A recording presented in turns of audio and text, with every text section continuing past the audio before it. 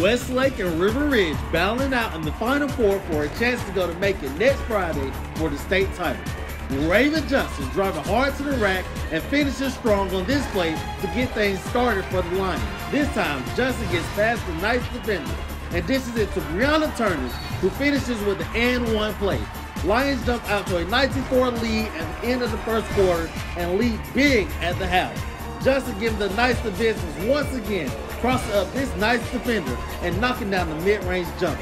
Tanaya Lasson joined in the action, driving baseline, finishing on the layup for another and one play. Another and one play, this time by Turner, as the Lions dominate and outclass the Knights 68-30 to advance to their fourth straight championship game.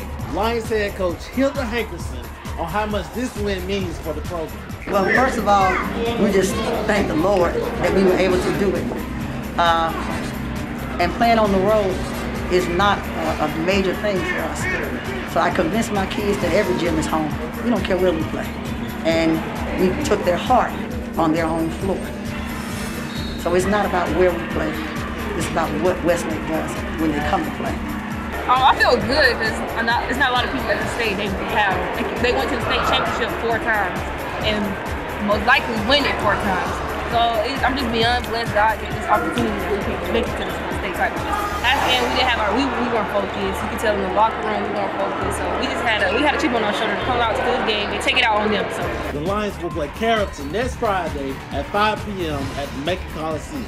Anthony Patterson, the Atlanta Georgia.